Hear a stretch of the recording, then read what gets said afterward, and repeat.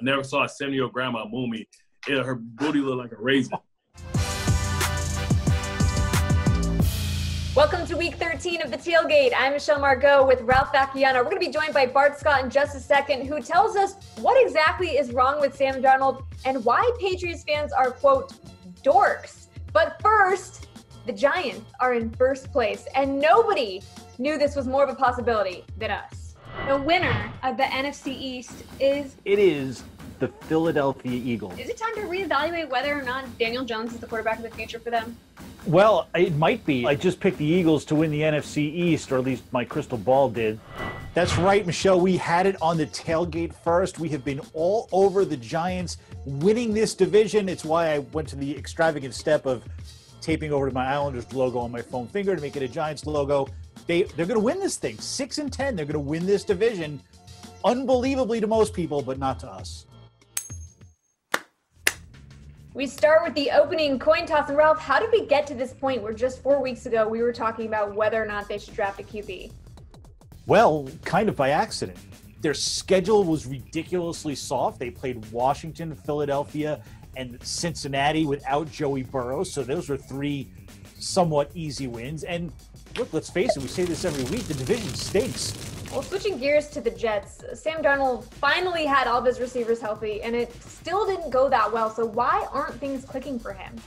People around the league blame the Jets. I mean, the situation is just dismal. You know, they kind of feel like they have dragged him down. Let's be honest, he's headed to a, a different place. It has to be a better place. He's headed to a better place because the Jets at this point look like locks to be 0 16, and then they draft Trevor Lawrence, and they have to trade Sam Darnold. We're basically watching the end of the Sam Darnold era, and it's kind of sad. Well, let's show some love for one of the reasons behind the Giants turnaround with a new segment that we call Get to Know Graham Gano. So each of us are going to throw out a fact, and the other is going to have to guess whether the statement is a Gano or a yes. Is Graham Gano's middle name Clark? That is a yes, absolutely. You looked it up. I, how would I look it what up? I didn't yes, know what you absolutely. Yes, had, absolutely. I'm just that smart. Graham Gano has five kids. Good, no, he does not. Yes, he does. Is Graham Gano pretty good at kickball? Oh my gosh, you would think he'd have to be. So, yes. Yeah, yes, he is.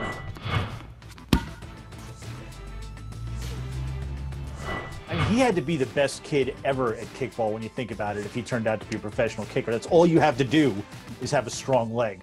He named his dogs Bert and Ernie. You know. That is Gano because that is ridiculous. His cousin kicked the first points in the first ever college football game. No, no, no, no. Would, you know, unless his cousin was born like 100 years before him, it's got to be a Gano. Uh, it's actually a good yes. Who could forget SG Gano's kick in the Rutgers Princeton matchup in 1869? Not wow, me. that that is a distant cousin, but okay, we'll we'll we'll call it a cousin. That's fine. We high step in the friend zone and welcome in former Jet and current SNY analyst Bart Scott. Thanks so much for joining us. what happens when you, when you do stuff from home? You don't have a makeup and, and stylish anymore. So I'm just this is me. This is unedited me, unfiltered me, I guess. Same here. Just no makeup. My hair's not done at all. Same. Woke up like this. What is your overall assessment of Sam Darnold? Um, to me, it looks like he's regressed a little bit, and I don't know if it's because of the playmakers or he's rusty coming back.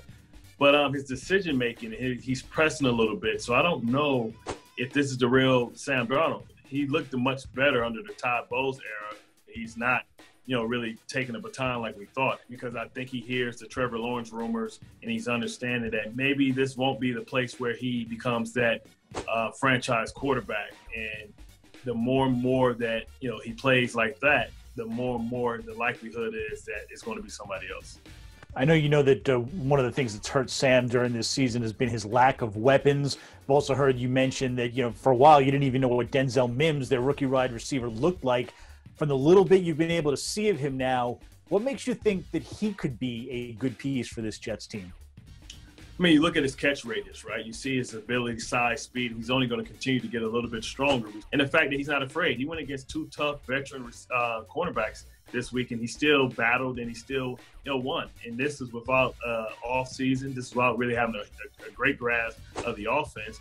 This is without adding the 10 to 15 pounds that I think he's going to have to add. Switching gears to, to your career a little bit. During your career, how did you use not getting drafted to your advantage? Um, I always had a chip on my shoulder, and I was always playing angry. That's why before I got here, and people knew me for Can't Wait. My Can't nickname wait. in Baltimore was the Mad Backer because I was always fighting, right? So I was always fighting, always getting in a fight, always getting in a tussle, fighting for my respect.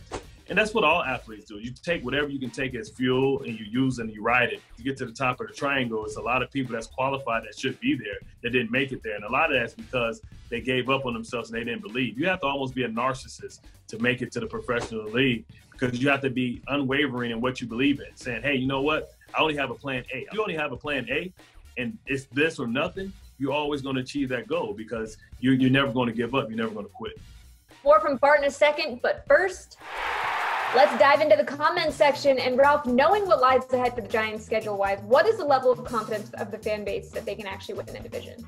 You know, I would have thought pretty good when you look at how awful this division is that they would have figured, you know, no one's playing better.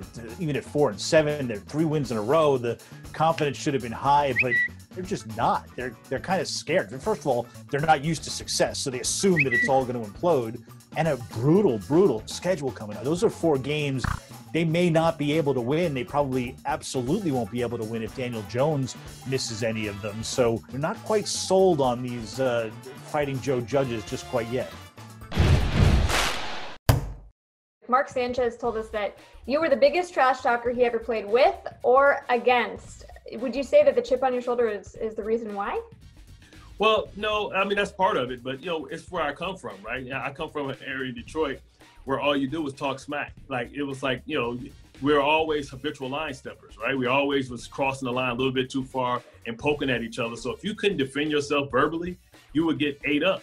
We all had that time where, you know, you got that relative that come up to the to the school with rollers and, and looking in the house shoes, looking all ghetto fabulous, and you're gonna get it. You know what I mean? But if you don't got no comeback, you gotta be self-deprecating, one, because if you if you say it about yourself, they can't say it, but then you gotta be able to have material for everybody you know, you always have to do your research to have have your just in case stuff in case they ever try you. You don't want to be caught, you know, empty handed without not without any ammunition to shoot back. You have a lot of experience with Rex Ryan. What is your best Rex Ryan story?